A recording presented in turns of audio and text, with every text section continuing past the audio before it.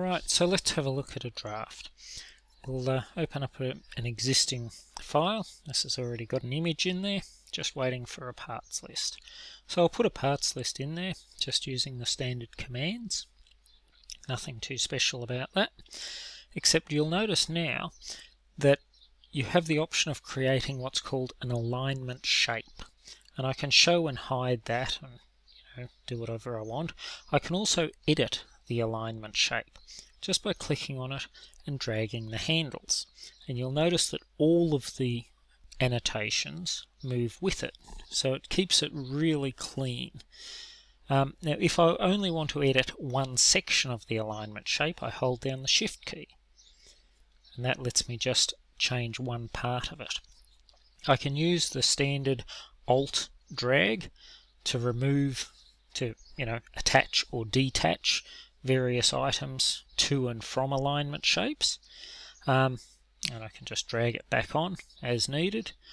However, I can also have more than one alignment shape for an existing view or for a view. So I've got various options here and effectively I just click to start and drag a line and any annotation that it crosses gets added in. Now we've got various options. I can close it. I can just drag this new annotation around. It's completely independent. I can alter the spacing if I choose. Um, however, if I do choose to have uniform spacing, then obviously editing the shape changes the spacing as well. So that's just a really nice new option for laying out annotations. Um, we've also got the option new in ST6 of editing the tables in place. And you'll see I've got all the formatting and you know cell formatting options right there as I'm editing just by clicking on it. I can also do cell overrides and basically you just type over it and it, it makes it a different color so it's very very easy to see. It's also easy to just clear the cell overrides as well. I've got the options of merging, adjusting text and formatting and layout, you know, pretty much as needed now. So it just means you can get your tables looking how you want very, very quickly. Next thing we'll look at is just drawing view alignment. I can create alignments either by view centers or key points and you can do it in any of the particular directions you want. We're just doing this one by key point and I'll just do this one by view centers. I'll create another alignment, view centers from there to there. And it just snaps them, makes them very, very easy to position and move around as needed. Alright, the next option is we've got an arrange dimensions um, tool now and I can set a stack pitch and then I just click on the view and accept and it arranges all of the dimensions around a view automatically according to the options you set. You know, if I change the stack pitch and click on that view again, it will rearrange the views on the dimensions on the end there, just moved out. Now, what if you don't want to do all of the dimensions? I can I can just grab some of the dimensions and I've got a new directional fence selection tool. I can select either left to right or right to left and that allows me to select everything that's in or everything that's in and crossing. And you can see there that I can also arrange a select group of dimensions or even one at a time. So we move on to the block new blocks functionality where you've where you've got a block schematic um, where basically you've got a whole heap of information here with no 3D uh, model you can generate parts lists or block lists from either a view, a sheet, or a user selection. We'll use the active sheet in this case. I'll just place it over here, zoom in.